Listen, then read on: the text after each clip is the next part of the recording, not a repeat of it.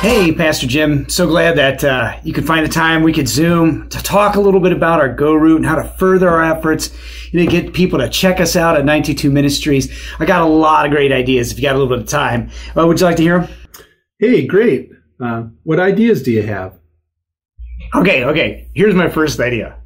We're going to get the Mandalorian to come. He's going to direct traffic. People come from miles around to see us. Uh, is this the way to 922 Ministries? This is the way.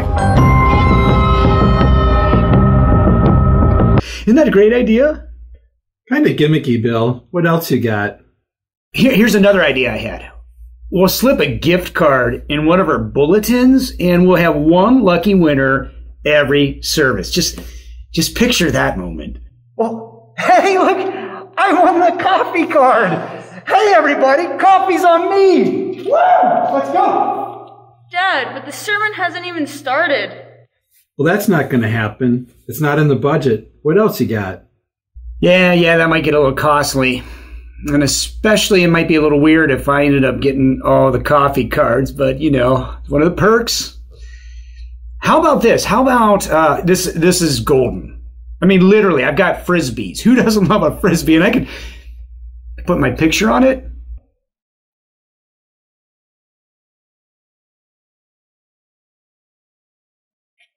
No offense, Bill, and I, I know I have empathy and, and kindness, but that is one of the dumbest things I have ever heard in my life.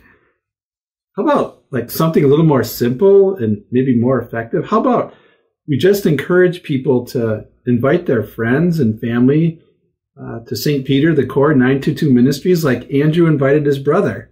Oh, I get it. So you're just saying, like, just having friends, just tell other friends about the hope that we actually have in, in Christ. Well, that's it. Just telling people, come and see.